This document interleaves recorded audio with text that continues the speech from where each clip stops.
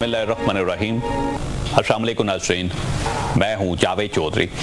خواتین حضرات Bev Oda Canada کی انٹرنیشنل کارپوریشن کی وزیر تھی۔ یہ پرانی سیاستدان تھی۔ یہ دو سال ثقافت کی وزیر رہی اور دو ہزار سات میں انٹرنیشنل کارپوریشن کی وزیر بن گئی۔ یہ محنتی اور قابل وزیر تھی۔ سیاسی مبصرین کا خیال تھا کہ اس کا مستقبل بہت تابناک ہے۔ لیکن اس سے اپریل دو ہزار بارہ میں ایک دلچسپ غلطی ہو گئی۔ یہ بچوں کی ایک انٹرنیشنل کانفرنس میں شرکت کے لیے لندن گئی۔ ہوٹل کا کرایہ اس کی وزارت کو ادا کرنا پڑ گیا۔ اس کی وزارت نے اس کے تین دن کا کرایہ چھ سو پینسٹھ ڈالر ادا کیا۔ جی ہاں صرف چھ سو پینسٹھ ڈالرز۔ ہوٹل میں کیمپ کے دوران اس نے سولہ ڈالر کا مالٹے کا جوس بھی پیا۔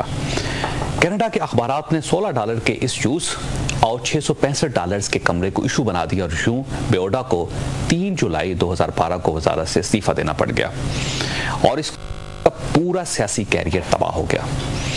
آپ اس واقعے کو ذہن میں رکھیے اور کل ہمارے وزیر اعظم راجہ پرویز اشرف کے سرکاری عمرے کا تجزیہ کیجیے۔ راجہ پرویز اشرف کل سرکاری جہاز پر پورے عملے اور خاندان کے ساتھ عمرے کے لیے سعودی عرب تشریف لے گئے۔ یہ درست ہے؟ راجہ پرویز اشرف، یوسف رضا گیلانی کے مقابلے میں کم لوگوں کو سعودی عرب ساتھ لے کر گئے اور انہوں نے نسبتاً سستا ہوٹل بھی لیا۔ لیکن اس کے باوجود یہ عمرہ ان کا ذاتی فیل تھا اور اس ذاتی عمرے کا خرچ سرکاری خزانے سے ادا ہوا۔ کیا یہ ملک اس قسم کے اخراجات کا متحمل ہو سکتا ہے؟ آپ لوگ کم از کم عمرہ تو ذاتی جیب سے کر لیں۔ اور اگر شکرانے کو عمرہ سرکاری خزانے سے ہی ادا کرنا ہے، تو آپ کمرشل فلائٹ سے سعودی عرب چلے جائیں۔ سرکاری جہاز لے جانے کی کیا ضرورت تھی؟ ہم کیسے مسلمان ہیں؟ ہم اپنے عمروں اور حجوں کا بوجھ بھی غریب عوام کی گردن پر ڈال دیتے ہیں۔ جبکہ کینیڈا جیسے کافر معاشرے سولہ ڈالر کا جوس پینے پر اپنے وزراء سے استعفے لے لیتے ہیں۔ ہم پتہ نہیں، اپنے رب کو کیا منہ دکھائیں گے؟ خواتین رات آج سپریم کورٹ میں اسکر خان کیس کی سماعت تھی۔ اس سماعت کے دوران بینچ نے دو دلچسپ ریمارکس دیے۔ سپریم کورٹ نے واضح الفاظ میں کہا کہ آئی ایس آئی وزیر اعظم کو جواب دے ہے۔ آئی ایس آئی کوئی سیاسی ونگ نہیں بنا سکتی۔ اور یہ ادارہ ایگزیکٹیوز کے ماتحت ہے۔ دوسرا، چیف جسٹس نے کہا کہ ملک پہ اب بنگلہ دیش طرز کا کوئی سسٹم نہیں آ سکتا۔ سپریم کورٹ کی طرف سے یہ واضح بیان ہے۔ جس کے بعد ماشاء اللہ ٹیکنوکریٹس کی حکومت یا پھر بنگلہ دیش ماڈل کا وہ امکان سرے سے ختم ہو جاتا ہے، جس کا پچھلے تین، ساڑھے تین سال سے خدشہ ظاہر کیا جا رہا تھا۔ اب آگے بڑھنے سے پہلے بنگلہ دیش ماڈل کا ایک چھوٹا سا جائزہ لیں گے۔ اکتوبر دو ہزار چھ میں خالدہ ضیاء کی بنگلہ دیش نیشنل پارٹی کے اقتدار کی مدت پوری ہوئی۔ اس کے ساتھ ہی ملک میں فسادات کا سلسلہ شروع ہو گیا۔ فسادات میں چالیس لوگ مارے گئے۔ اس دوران خالدہ ضیاء پر کرپشن کے الزامات بھی لگ گئے۔ عبوری حکومت نے بائیس جنوری دو ہزار سات تک نئے الیکشن کروانا تھے، لیکن اپوزیشن لیڈر شیخ حسینہ واجد سمیت اٹھارہ چھوٹی جماعتوں نے الیکشن کا بائیکاٹ کر دیا، جس کے نتیجے میں بنگلہ دیش میں سیاسی بحران پیدا ہو گیا۔ حالات جب کنٹرول سے باہر ہو گئے، تو فوج نے ملک میں ایمرجنسی لگائی اور ٹیکنوکریٹس کی حکومت بنا دی۔ اس گورنمنٹ کے چیف ایگزیکٹو ملک کے مشہور اکانومسٹ ڈاکٹر فخر الدین احمد تھے۔ یہ بیوروکریٹ بھی رہے تھے اسٹیٹ بینک کے سابق گورنر بھی تھے اور انٹرنیشنل لیول کے اکانومسٹ بھی تھے۔ ڈاکٹر فخر الدین نے ملک سے اکیس ماہر اور ایماندار ترین لوگ سلیکٹ کیے، انہیں وزیر بنایا اور ان لوگوں نے کمال کر دیا۔ بنگلہ دیش میں ٹیکنوکریٹس کی حکومت تیئیس ماہ تک جاری رہی ان تیئیس ماہ میں انہوں نے ملکی معیشت کی سمت درست کر دی ملک میں امن و امان قائم کر دیا۔ انہوں نے ایک سو ساٹھ کرپٹ بیوروکریٹ سیاستدان اور کاروباری شخصیات کو گرفتار کر کے ملک سے کرپشن ختم کر دی نئی ووٹر لسٹیں بنائی ووٹرز کو ایسے کارڈ جاری کیے جن پر ان کی تصویریں تھیں۔ پولنگ اسٹیشنز پر کیمرے لگوائے۔ تجارت اور صنعت کے لیے نئے قانون بنائے اور فوج کی مدد سے خطرناک علاقوں میں امن قائم کر دیا۔ ان تیئیس ماہ میں بنگلہ دیش ترقی کے ٹریک پر آ گیا اور حکومت نے اس کے بعد انتیس دسمبر دو ہزار آٹھ کو الیکشن کروا دیے اور خود اطمینان سے گھر چلے گئے۔ یہ اپنی نوعیت کا دلچسپ ترین تجربہ تھا۔ لوگوں نے اس دلچسپ تجربے کو بنگلہ دیش ماڈل کا نام دیا۔ پاکستان میں پچھلے چار برسوں سے سرگوشیوں میں اس ماڈل کا ذکر ہو رہا تھا، لیکن آج چیف جسٹس نے اس امکان کو رول آؤٹ کر دیا۔ اب سوال یہ ہے کہ پھر تبدیلی کیسے آئے گی؟ کیا یہ سسٹم اپنے گند کے ساتھ دوسری سیاسی جماعت کی گود میں گر جائے گا؟ اور وہ بھی ملک کے ساتھ وہی کرے گی جو پچھلی حکومت نے کیا تھا۔ یا پھر اگلے الیکشن سے قبل سسٹم کو ڈرائی کلین کرنا ضروری ہے۔ اگر یہ ضروری ہے تو یہ کرے گا کون؟ اور اگر نہیں تو کیا پاکستان مسلم لیگ نون موجودہ حکومت سے بہتر حکومت ثابت ہوگی؟ یہ ہمارا آج کا ایشو ہوگا۔ ہمارا آج کا سوال نوٹ کر لیجیے کیا ملک میں بنگلہ دیش ماڈل آنا چاہیے؟ ہمیں فیس بک اور ٹو فور سیون پر جواب دیجیے گا۔ اور ہمارے ساتھ رہیے گا۔ ساتھ ہمارے ساتھ تشریف رکھتے ہیں۔ سید حامد صاحب، دفاعی تجزیہ کار ہیں۔ آپ نے ان کی گفتگو اکثر سنی اور ماشاءاللہ بڑی زبردست گفتگو کرتے ہیں اور بڑا ان کی نظر ہوتی ہے ایشوز پہ۔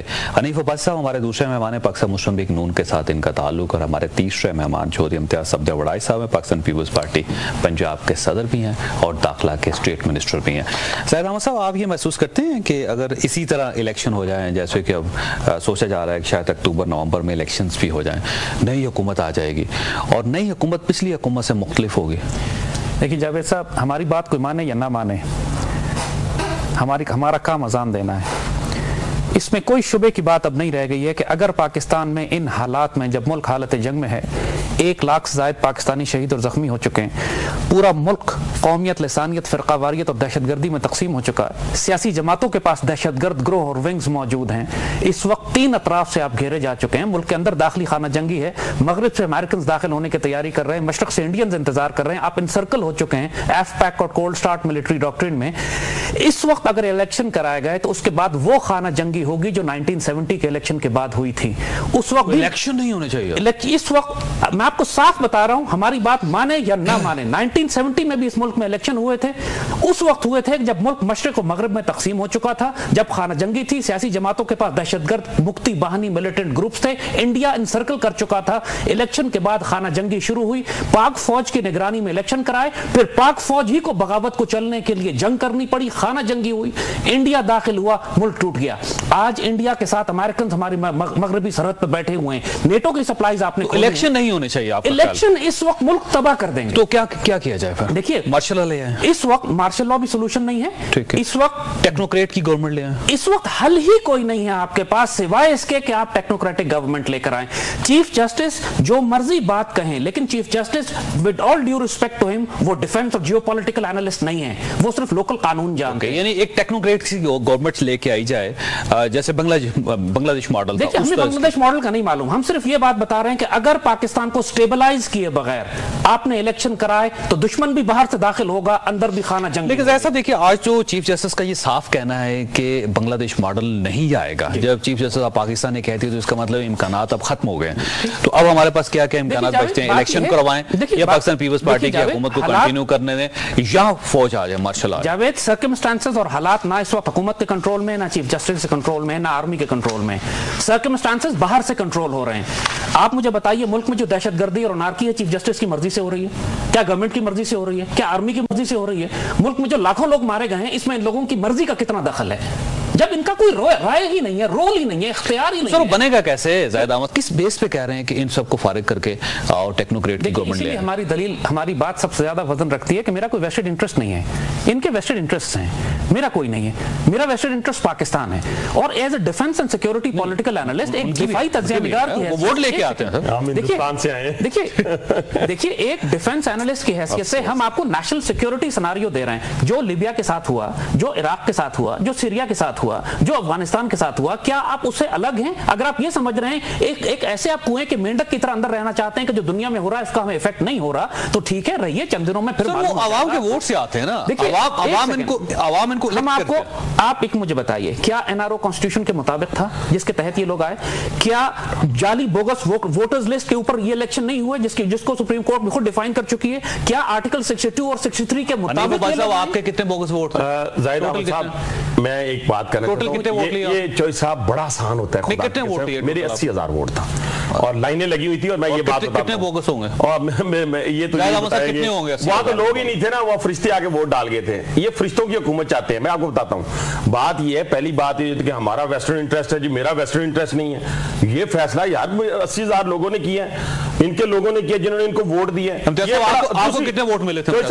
ابھی پوری مجھے آپ سکسٹی ایٹ تھاؤزینڈ میں مسٹر صاحب 68,000 لوگ جوہر صاحب انہوں نے میری بات لیٹ سنیں کیے، جوہر صاحب میری 80,000 بات سنیں لوگ۔ جوہر صاحب یہ بڑا آسان ہوتا ہے کسی چینل پہ آ کے آرام سے آپ نے ٹائم لیا وقت کیا بات کیا ملک اور قوم کی بات کی چلے گئے جب صبح آٹھ بجے اٹھ کے نا تو گلی محلوں کے مسائل سن کے اور ان بچوں کی اور بچیوں کی آوازیں سن کے تو پھر اس پہ عمل درآمد کرنے کے لیے بڑا وقت چاہیے بابا اپنی اپنی پریکٹیکل لائف میں سے اپنی فیملی لائف میں سے اپنے کاروبار میں سے اپنی زندگی میں سے ان لوگوں کو وقت دینا پڑتا ہے پھر سیاست دان اچھا، ظاہر احمد صاحب، آپ ایک political party بنا نہیں کے بن سکتے وہ آپ ملک اور لوگوں قوم پاس کی فون تقدیر بدل۔ رہے ہوتے ہیں بابا جو جنرل کونسلر نہیں بن سکتے وہ ملک اور قوم کی تقدیر بدل رہے ہوتے ہیں۔ اس طرح نہیں ہو سکتا چوئی صاحب پاکستان میں۔ اچھا آپ لوگوں کے پاس جانا پڑے۔ احمد صاحب پولیٹیکل پارٹی بنائیے لوگوں کے پاس جائیے ووٹ لیجیے اسی ہزار ووٹ یا سکسٹی ایٹ تھاؤزینڈ ووٹ انہوں نے لیے اتنے لیے پارلیمنٹ میں بیٹھیں اور آ کے قانون چینج کرتے ہیں سر۔ جاوید دو سمپل باتیں ہیں۔ پہلی بات تو یہ کہ یہ ہمارے پاس اب اتنا ٹائم ہی نہیں رہ گیا ہے۔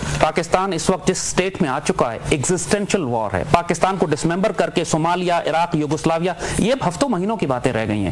آپ جس لمبی چوڑی تقریروں کی بات کر رہے ہیں نا کہ الیکشن ہوگا تو آگے جائے گا۔ اب آپ دیکھ لیجیے گا عشق و فریاد لازم تھی سو وہ ہو چکی۔ اب ذرا دل تھام کے فریاد کی تاثیر دیکھ۔ اب دیکھیے گا ہوتا کیا ہے یہاں۔ آپ کے کنٹرول میں ہی نہیں ہے انوائرمنٹ آپ سمجھ رہے ہیں وہی بات ہم سمجھانا چاہ رہے ہیں۔ کنٹرول کرے گا؟ دیکھیے اس وقت اسی لیے مرکز مضبوط چاہیے اس وقت اور اس وقت ایسا مرکز مضبوط چاہیے آپ کو کہ جو پاکستان سے دہشت گردی اور کرپشن کا خاتمہ کرے قومیت کرے گا؟ یہ الیکشن کے ذریعے نہیں ہوگا تو سر۔ کیسے ہوگا؟ کیونکہ جب تک کہ اکاؤنٹیبلٹی نہ کریں سر وہ اکاؤنٹیبل کرے گا کون؟ میں آپ سے وہی پوچھ رہا اسی لیے ہم ٹیکنوکریٹک کیئر ٹیکر گورنمنٹ کی بات کر رہے ہیں۔ ایک؟ زمانے میں پاکستان کے اندر کی مثالیں موجود ہیں۔ لیکن ٹیکنو آپ نے کیئر ٹیکر گورنمنٹ تو لانی ہے۔ سر فوج بنائے مطابق- فوج بنائے گی۔ Hang on. فوج بنائے گی۔ پلیز ٹرائی ٹو انڈرسٹینڈ فوج بنائے گی سر بتائیے کون بنائے گا؟ یہ کام چیف جسٹس کو کرنا چاہیے۔ عدلیہ بنائے گی۔ عدلیہ اور فوج مل کر کریں۔ اس وقت پاکستان کے اندر سارے سٹیک ہولڈرز کو آپ ملائیے۔ آپ کو کیئر ٹیکرز لانے ہیں جو ٹیکنوکریٹ عدلیہ اور فوج نے مل کے پرویز مشرف کو لے کے آئی تھی وہ۔ دیکھیے ٹیکنیکلٹیز دونوں دونوں لے کے آئے تھے نا فوج بھی تھی عدلیہ بھی تھی ان کے ساتھ۔ جاوید ہم بہت وہ لے کے آئے ہم نے پوری تحریک چلا کے ان کو نکالا۔ اب دوبارہ ایک پرویز مشرف آ جائے گا عدلیہ اور فوج دونوں ان کو لا کے بٹھا دے۔ مشرف نہیں آئے گا یہی تو ہم کہہ رہے ہیں پرویز مشرف روکنا ہے آپ۔ نے۔ ہم کو مینڈیٹ دی۔ اچھا زید احمد صاحب آپ کے اوپر جو اعتراض کیا جاتا ہے ہمیشہ وہ یہ کیا جاتا ہے کہ آپ کاؤنسلر کا الیکشن لڑ نہیں سکتے لیکن پورا سسٹم بدلنا چاہتے ہیں آپ۔ تو آپ کوئی ایک الیکشن لڑ کے ثابت کر دیں کہ لوگ آپ کے ساتھ ہیں۔ دیکھیے الیکشن کا جو پروسیس ہے نا یہ بذات خود ناپاک اور حرام پروسیس ہے اس- میں کوئی شبے کی بات نہیں ہے۔ آج یہ بات کرتی ہیں سیاسی جماعتیں پاکستان کی کہ وہ عوام کی نمائندگی کرتی ہیں۔ ابھی ایک ابھی پیو۔ کا سروے آیا ہے جس میں اس میں کہا گیا ہے کہ تراسی فیصد پاکستان ملک میں قرآن و سنت کا قانون چاہتے ہیں۔ اس ملک کی کون سی سیاسی جماعت ہے جو ملک میں کون سی عدلیہ ہے اس وقت جو ملک میں قرآن و سنت کا نظام چاہتی ہے؟ اگر عوام کی نمائندگی کی بات چاہتے ہے ہیں دونوں پارٹی سے ہمارا آئین کہتا ہے کہ کوئی چیز قرآن و سنت سے متصادم ہم کر ہی نہیں سکتے۔ پہلا پہلا پہلا پیراگراف ہے۔ اس کے اوپر اور ہمارا دوسرا زاہد احمد صاحب تھوڑا سا میں آپ سے ریکویسٹ کروں گا۔ آپ اکیلے مسلمان نہیں ہیں۔ اسی چیز نے اس پاکستان کو تباہ کیا دنیا میں مسلمانوں کی امیج کو ختم کیا ہے۔ یہاں لوگوں کو آپ نے حرام قرار دے دیا جو ہم لوگ بیٹھے ہوئے ہیں۔ آپ اپنی اپنی بات کریں۔ حرام اور حلال کا آپ فتویٰ ہمیں نہ دیں۔ جمہوریت کو کہا۔ ہے، نہیں جمہوریت کو نہیں آپ نے کہا یہ الیکشن ہی حرام ہے۔ جی، لڑنے والے پھر حرامی ہوئے نا۔ یہ کہہ رہے ہیں آپ؟ بہرحال یہ الیکشن کا جو یہ لفظ نکالیں باہر اس کو۔ میں یہ سننے کے لیے بیٹھا نہیں ہوا۔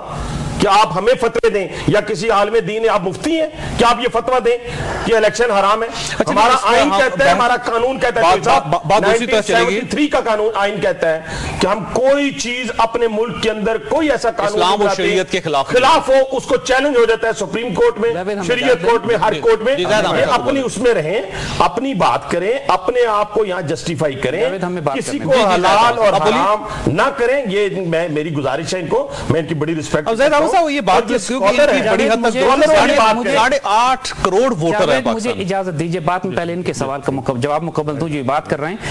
پاکستان کے کانسٹیٹیوشن میں یہ بات لکھی ہوئی ہے کہ کوئی قانون قرآن و سنت کے خلاف نہیں ملے گا۔ اس وقت پاکستان میں سود اور ربا کا نظام قانوناً جائز ہے جس سے اللہ اس کے رسول کا اعلان جنگ ہے۔ چیلنج کریں۔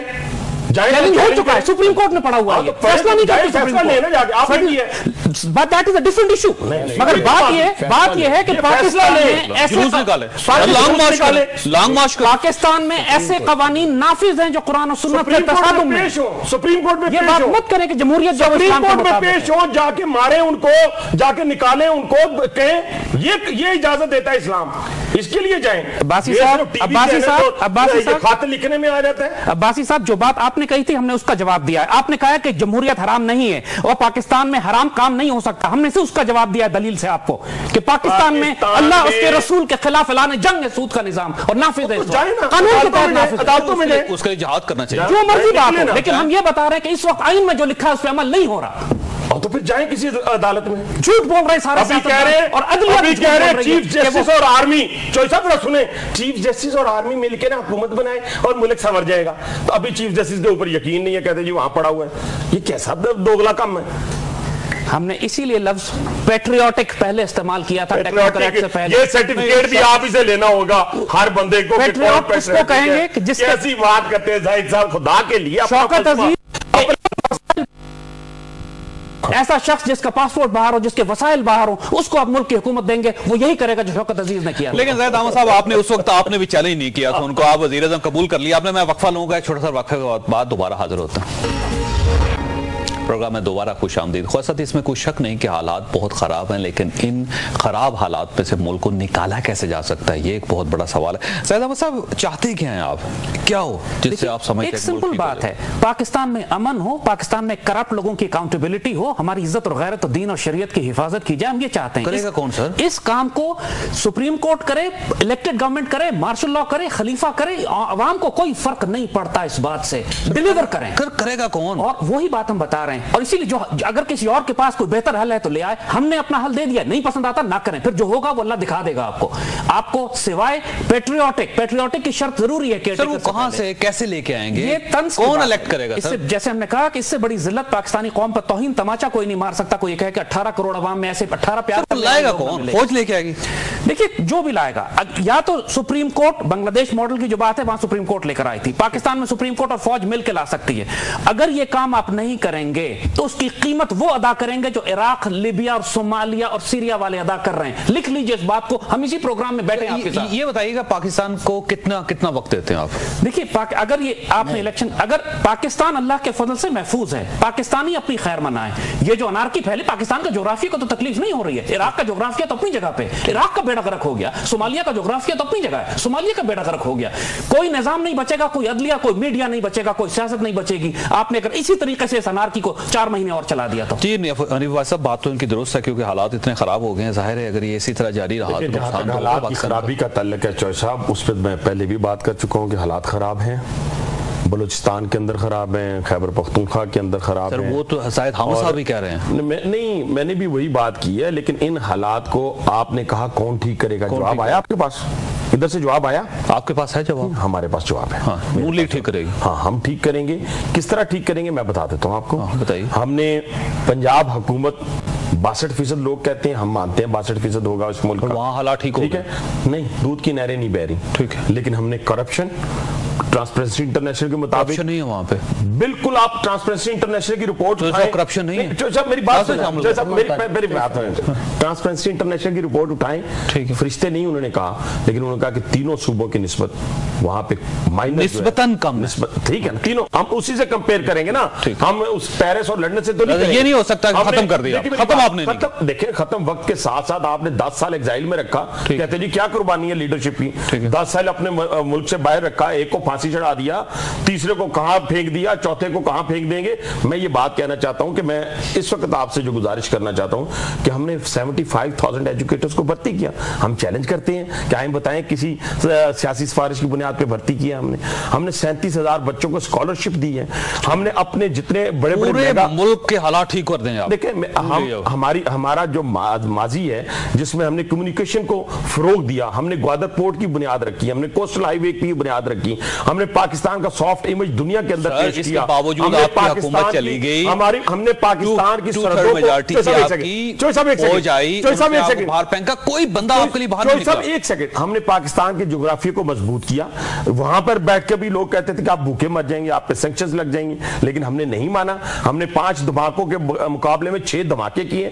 لیڈرشپ نے کہا پارلیمنٹ نہیں مانتی میرے لوگ نہیں مانتے اس لیے میں نے یہ کام کرنا آپ کے اندر کوئی چند سیکنڈ رہ گئے مجھے یہ بتائیے کہ وہ کون شخص ہوگا جو آئے گا اور اس کے بعد ملک کے مسائل حل ہو جائیں گے؟ جاوید آئیڈیل سناریو تو یہی ہے کہ نگاہ بلند سخن دل نواد اور جاں پر سوز کہیں آپ۔ ایک ایسا شخص جس میں ویژن بھی ہو نگاہ بھی ہو اللہ کا ولی و درویش بھی ہو ایک پاکستان کے لیے جان قربان کرنے والا شخص چاہے وہ ہمارا فرنٹ لائن سپاہی جو جانے قربان کر رہا ہے چاہے ہمارا ٹیکنوکریٹ بیوروکریٹ جو پاکستان حلال تنخواہ میں جو گزارا کر رہا ہے۔ جو پاکستان کے لیے اٹھارہ گھنٹے کام کرتا ہے اس کے سارے وسائل بچے بیوی ایسٹس اس ملک کے اندر ہیں۔ اس طرح کے اٹھارہ آدمی سلیکٹ کر لیجیے وہ پاکستان کو آسمان پہ لے جائیں گے۔ جو پاکستان کے لیے جینا اور مرنا جانتے سر وہ کون ہوگا بندہ؟ میں وہی آپ سے پوچھ رہا ہوں۔ یار پاک وہ تخت وہ سلیمان کو خواب سے لے کے آئیں گے اور یہ جو لوگ ہیں ان کو نا سمندر میں پھینک دیں گے۔ یہ پاکستانی بھی نہیں ہے مسلمان بھی نہیں ہے کیڑے مکوڑے ہیں۔ ان کی انہوں نے تکالیف بھی کوئی نہیں اٹھائیں اور بڑے آسانی کے ساتھ آپ ساری باتیں کر رہے ہیں۔ چوئی صاحب میں آپ کو چھوٹی سی گزارش کروں گا۔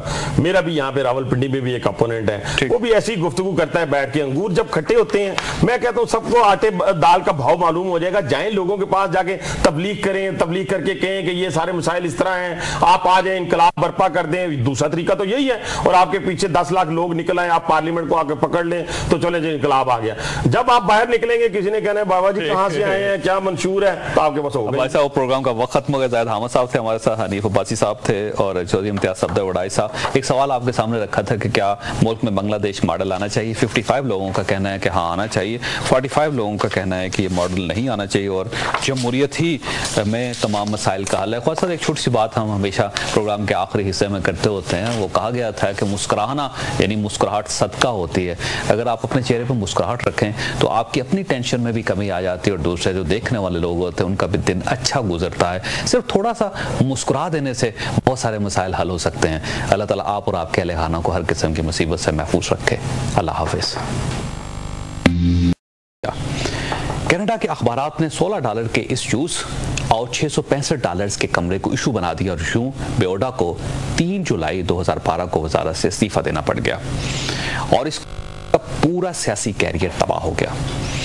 آپ اس واقعے کو ذہن میں رکھیے اور کل ہمارے وزیر اعظم راجہ پرویز اشرف کے سرکاری عمرے کا تجزیہ کیجیے۔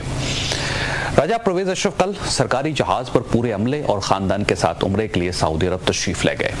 یہ درست ہے راجہ پرویز اشرف یوسف رضا گیلانی کے مقابلے میں کم لوگوں کو سعودی عرب ساتھ لے کر گئے اور انہوں نے نسبتاً سستا ہوٹل بھی لیا۔ لیکن اس کے باوجود یہ عمرہ ان کا ذاتی فیل تھا اور اس ذاتی عمرے کا خرچ سرکاری خزانے سے ادا ہوا۔ عکس دیے سپریم کورٹ نے واضح الفاظ میں کہا کہ آئی ایس آئی وزیر اعظم کو جواب دے ہے۔ آئی ایس آئی کوئی سیاسی ونگ نہیں بنا سکتی۔ اور یہ ادارہ ایگزیکٹیوز کے ماتحت ہے۔ دوسرا، چیف جسٹس نے کہا کہ ملک پہ اب بنگلہ دیش طرز کا کوئی سسٹم نہیں آ سکتا۔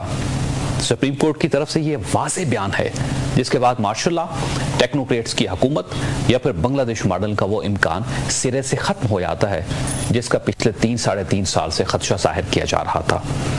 اب آگے بڑھنے سے پہلے بنگلہ دیش ماڈل کا ایک چھوٹا سا جائزہ لیں گے۔ اکتوبر دو ہزار چھ میں خالدہ ضیاء کی بنگلہ دیش نیشنل پارٹی کے اقتدار کی مدت پوری ہوئی۔ اس کے ساتھ ہی ملک میں فسادات کا سلسلہ شروع ہو گیا۔ فسادات میں چالیس لوگ مارے گئے۔ اس دوران اللہ الرحمن الرحیم۔ السلام علیکم ناظرین۔ میں ہوں جاوید چودھری۔ خواتین حضرات بیوڈا کینیڈا کی انٹرنیشنل کارپوریشن کی وزیر تھی۔ یہ پرانی سیاستدان تھی۔ یہ دو سال ثقافت کی وزیر رہی اور دو ہزار سات میں انٹرنیشنل کارپوریشن کی وزیر بن گئی۔ یہ محنتی اور قابل وزیر تھی۔ سیاسی مبصرین کا خیال تھا کہ اس کا مستقبل بہت تابناک ہے۔ لیکن اس سے اپریل دو ہزار بارہ میں ایک دلچسپ غلطی ہو گئی۔ یہ بچوں کی ایک انٹرنیشنل کانفرنس میں شرکت کے لیے لندن گئی۔ ہوٹل کا کرایہ اس کی وزارت کو ادا کرنا پڑ گیا۔ اس کی وزارت نے اس کے تین دن کا کرایہ چھ سو پینسٹھ ڈالر ادا کیا۔ جی ہاں صرف چھ سو پینسٹھ ڈالرز۔ ہوٹل میں کیمپ کے دوران اس نے سولہ ڈالر کا مالٹے کا جوس بھی پیے۔ کیا یہ ملک اس قسم کے اخراجات کا متحمل ہو سکتا ہے؟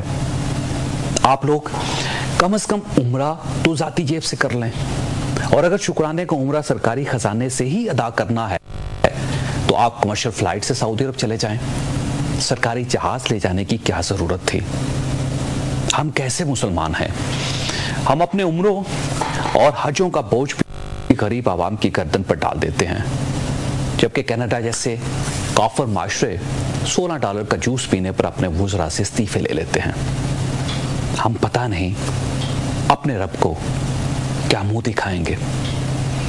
خواتین رات آج سپریم کورٹ میں اسکر خان کیس کی سماعت تھی۔ اس سماعت کے دوران بینچ نے دو دلچسپ ریمارک، خالدہ ضیاء پر کرپشن کے الزامات بھی لگ گئے۔ عبوری حکومت نے بائیس جنوری دو ہزار سات تک نئے الیکشن کروانا تھے، لیکن اپوزیشن لیڈر شیخ حسینہ واجد سمیت اٹھارہ چھوٹی جماعتوں نے الیکشن کا بائی کاٹ کر دیا، جس کے نتیجے میں بنگلہ دیش میں سیاسی بحران پیدا ہو گیا۔ حالات جب کنٹرول سے باہر ہو گئے، تو فوج نے ملک میں ایمرجنسی لگائی اور ٹیکنوکریٹس کی حکومت بنا دی۔ اس گورنمنٹ کے چیف ایگزیکٹو ملک کے مشہور اکانومسٹ ڈاکٹر فخر الدین احمد تھے۔ یہ بیوروکریٹ بھی رہے تھے اسٹیٹ بینک کے سابق گورنر بھی تھے اور انٹرنیشنل لیول کے اکانومسٹ بھی تھے۔ ڈاکٹر فخر الدین نے ملک سے اکیس ماہر اور ایماندار ترین لوگ سلیکٹ کیے، انہیں وزیر بنایا۔